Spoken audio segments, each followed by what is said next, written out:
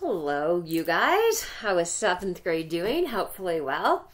Um, we will start today's lesson with our prayer in the name of the Father, and of the Son, and of the Holy Spirit. Amen.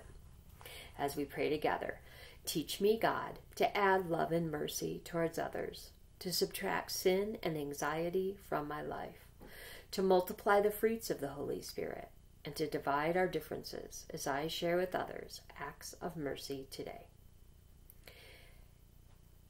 we um, pause right here and I ask you to um, pray for something that you'd like us all to pray for.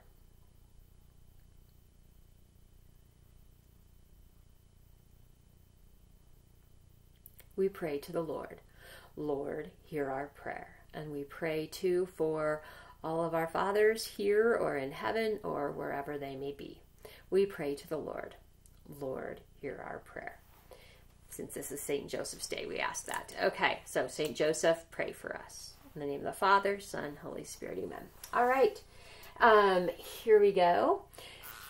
I just want to take this time to say, uh, before we do anything else, you guys are doing a great job. Thank you for asking questions. Eighth grade never asks questions. Sixth and seventh, you're so good at it. Thank you. Um, so continue to ask questions. I will try to get to them in a timely manner.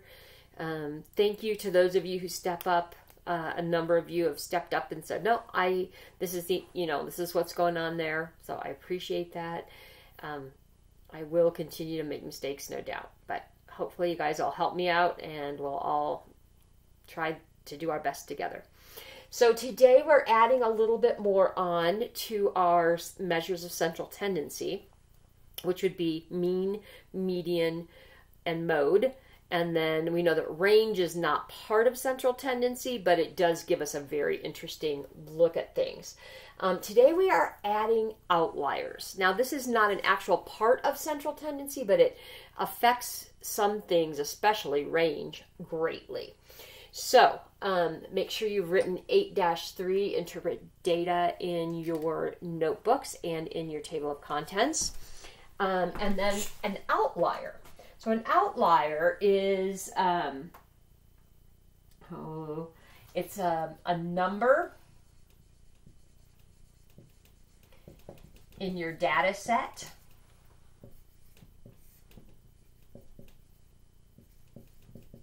And it can be either of these. That is much greater or much less than the other numbers. Yikes. Okay. Um, and that's important because um, it can, if it's much greater or much less, it can actually skew your data set a lot.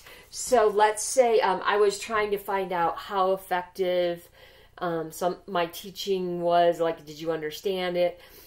Let's say everyone got A's and B's, and then I had um, somebody that got like a 4%. That is going to make my data. So let's look at that. Like, let's say I had like a 92, a 95, a 96, an 85, and a 4%. Let's add those up. 7 and 6 is 13, and 9 would be 22. That's 29. Um, 37. I'm going to divide that by 5. So 5 into 37 would be 7. Uh, with 2 left over, that would be about 4. Okay? So what that would tell me is if I was just looking at the mean, I'd say, man, my I the whole class, the the average of my class is 74%. I must have really done something wrong because so many people got low grades. Mm, not so. I have all really high grades and then a 4%. So you can see how that really skewed my data. This is going to be important when we're analyzing data to know is there an outlier? Is there something that was way low or way high? Um, so if I were to do this again and throw out my outlier, excuse me, um, 5 and 2, 7, plus 6 is 13. um, 18, so that's 19 and 17, 33. Divide that by 4. That gives me um, 4 and 18 is 3, 4, about 84. All right. What did I do wrong? Something there. 10, 19. 19 plus 9 is 28. 36. Okay. Ah, that looks better. Okay, that goes in. There we go, 92. Okay, so my average here is 92. That seems like it matches the data set, right? 96, 95, 92, 85. That seems like it matches. And now I'm like, okay, that falls within a good range. Um, even if it was a B, it would be a good range, right? If I had lots more scores. Um, but this just doesn't seem like it was representative of that data. So it's important to know about outliers. And for this very reason, we're going to be finding measures of central tendency with the outliers and without the outliers. And then that's going to really tell us what's going on. Okay? So let's do an example. Um, let's do, let's say my data set is, um, we're going to do two of these, okay? 11, 13, 8, 104, 16, and 10. Okay. Hmm.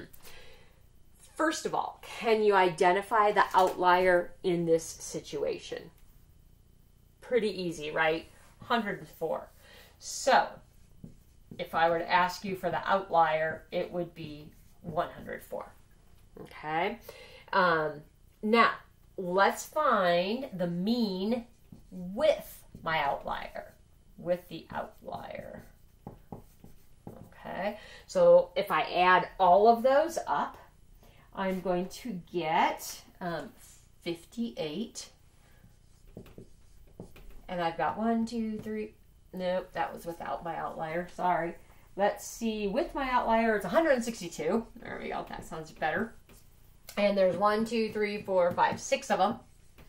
So if I divide 162 by 6, I get 27. Okay. Um, the mean without the outlier is 27.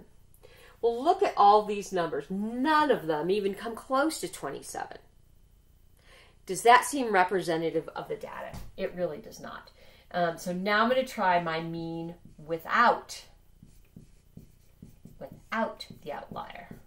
So today when you're doing this, you're going to have to really read well. Does it say outlier with outlier or without outlier? Eek. Um, okay, so now I add them up without the 104. And what I find is I get 58. There are five of them, right? One, two, three, four, five without the outlier.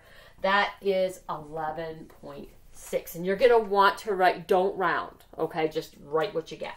Uh, 11.6. Now let's look at my numbers 11, 13, 8, 16, 10, 11.6 seems like it's it's a representative of those without that 104. Okay. What about our median? So my median with the outlier means I'm going to include it. So I've got to rearrange those in order. So that would be 8, 10, 11, 13, 16 and 104. 1, 2, 3, 4, 5, 6. Okay. My median, so I'm going to look in between uh, twos. So it would be 11 and 13. So what do I have to do if I have two things? I'll have to add them and take their average. I get 24. 2 into 24 is 12. Okay. Let's look at the median without the outlier. So this time I'm going to get rid of that 104. Um, there, there, there. my median without, the one that's in the middle without, since it's an odd number now. Gosh. I have to go buy more expo markers. Uh, 11. Okay. A little different. Not a lot different, though, right? Would you say the median is greatly affected by an outlier? Probably not. It's just, it's not measuring differences and stuff. Okay. What about the mode? Do I have a mode here? I don't see anything repeated. No mode. Um, what about, and that doesn't seem to matter if I have an outlier or not, right? I don't, I don't see anything repeated there. Okay. Now let's look at the range. Range with the outlier and the range without the outlier. Without the outlier. Okay. So, range, remember, I am doing, so I'm going to do with it. Um, that's the lowest and the highest, the difference between them. Yesterday, a lot of you, when we had negative numbers, messes with your mind. Get your biggest one. So this one was 104, and you subtract the smallest one. Yesterday, you forgot it's minus a negative, which becomes positive. So I'm actually adding it on there. It's kind of a, it does mess with your mind a little bit there. All right, 14 minus 8 is, uh, so the whole thing is 96. So range without, with my outlier is 96. Pretty big range, right? The difference between 8 and 104. All right, let's look without the outlier. So now I'm, I'm get rid of that, and my highest number looks like it's 16. So 16 minus 8 is 8. So my range without the outlier is 8. Wow, huge difference. So is the range affected by this? Oh, it sure is. Okay, so you can see that's really affected, and the mean is is um, really affected by that. All right, so those two are going to be the um, what is affected most. Um, I'm trying to see if we have any negatives today. Yes, we do. So I'm just going to make up my own data set and we're going to go through some negatives. I'm just going to erase this but leave all of the data sets on there. Okay. Would you please make sure that um, you have paused and written all of this in there? I really want these in there. Let's, um, I have no idea if these are going to be right or wrong, so I'm just making them up. How about we do negative 5, negative 16, um, negative 79. Um, let's do um, negative 2, negative 8, negative, sorry, negative 8, negative 16. Good enough for me. All right. So, do I have an outlier? Remember, an outlier is a number in your data set that is much greater, that's what we did last time, or much less than the others. Do you have an outlier here? We sure do. It is negative 679. That one is much different than the other numbers. Okay, so let's find our mean with the outlier. So I'm going to add all these together. Um, so I've got negative 5, negative. And probably I'm just going to write these 16, 79, 2, 8. Make sure you line these up right. Wouldn't you agree? You don't want to add your 5 to the 1 or something. Okay, so 5 plus 6 is 11 plus 9 is 20, 36. Oh, thank you. I don't know how I ended up doing that easily. 3 plus 7 is 10, 11, 12. So my answer is 126. All right. And I have um, 1, 2, 3, 4, 5, 6. So I'm going to divide by 6. 6 goes into negative um, 126 21 times, negative 21. So my mean with my outlier is negative. With my outlier, yeah, is negative 21. Again, I look at these, none of these are even close to negative 21. Mm, I mean, negative 16 is getting a little closer, but it's big, it's smaller than all of those numbers. And so I'm thinking, hmm, that isn't very representative. Okay, what if I did this without my negative 79? So I would have negative 5, negative 16, negative 2, negative 8, negative 16. 11 plus 10 is 21, 27, 2, 3, 4. So I would have negative 47. Okay. I'm going to divide that by this time. I have 1, 2, 3, 4, 5. So I'll put 5 in there. That goes 9 times. Um, 5 times 9 is 45. So I'd have 2 left over. So that'd be 9.4. Okay, negative. Sorry. Negative 9.4. Now let's look at my numbers. Negative 5, negative 16, negative 2, negative 8, negative 16. Negative 9.4 is right there in the mix, right? Right kind of in the middle, which is what my mean is supposed to be, not something that's way out there. What about my median? Well, let's take a look. I have to do this in order. So negative 79 is my smallest number. Negative 16, negative 16, negative 8, negative 5, negative 2. All right, let's count from the middle. 1, 2, 3. So it's going to be between negative 16 and negative 8. I'm going to add those together, which is negative 24 divided by 2, negative 12.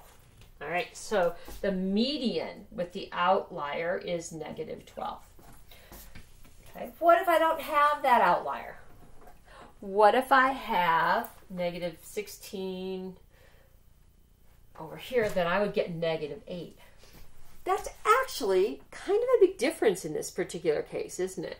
So this time it, it affected it. I mean, not a ton ton, but it did affect it this time. What about mode? What is the mode with the outlier? Mm, looks like negative 16 to me. What's the mode without the outlier? negative 16. That's not going to change. Mode is never going to change unless you have two outliers, I guess. But other than that, it's not going to change. All right, what's my range with the outlier? Now, here's where I want to go over this with you guys. So the lowest number here is negative 79. And then I'm going to subtract my negative 2. Well, what's minus, you know, think about this going this way. Minus a negative 2 plus 2. Okay. Um, so I'm going to get negative 77. So I can think about this. Now I could have done negative 2 minus a negative 79. And that would give me a positive 77. Either of those answers really is okay. Um, what I I always kind of want to go with a positive one because it shows me the distance in between. So the range I have 77 numbers in between those. Okay, that's going to be my answer. So either one of those I will accept, but 77 is what we we're really looking at because that shows how far apart they are. How far apart is it? What is let's see, what's range is 77 what would my range be? And make sure you have this down so that you know. Um, what's my range without that outlier? Well, negative 16 and negative 2. So I'm going to subtract negative 2, which means I add it. Be negative 14. So I'm just going to say positive 14. There are 14 numbers in between. Huge difference here. Okay range once again is affected a lot by outliers. Um, so I'm going to just read this to you guys. We're not going to um, do much more with it, but I do want you to know um, that when we're doing this, it's called measures of variation or measures of dispersion. Of dispersion. Um, so if you were in a job um, that did something like this, um, you might do spreadsheets looking at it. Um, and these are a really important thing. So if you're looking for clues in something, you're trying to find patterns, you often are going to get rid of that outlier because it's going to you can see it gives you very different data if you have outliers. Um, so just keep that in mind. Um, this is all super real life stuff when we're doing um, this kind of data and this really helps us make good decisions. Look for outliers. Um, you know, when you're looking at your own grades and you're looking and you say, um, and I've, I've had people say, but I have a, a 95 and a 94 and, a, you know, and then that one zero and it really brings your grade down. That doesn't look right. No, because you got a zero. Or maybe I made a mistake. Instead of writing 94, I wrote four on one instead of uh, 94. So that would affect it. So um, this really helps you interpret data. That's all important stuff. All right, continue to ask questions. Um, I'm gonna. I, my goal is either this week or or when we come back from spring break, if we're still if we're still doing this, which I think we probably will be, um, then let's um, then I'm going to do some Google Hangouts with um, small groups of people, so that we can talk and and I can just check in with you and make sure that y'all are doing all right. Okay. I hope you have a great day. Look at the lovely snow. It's all good. See you soon.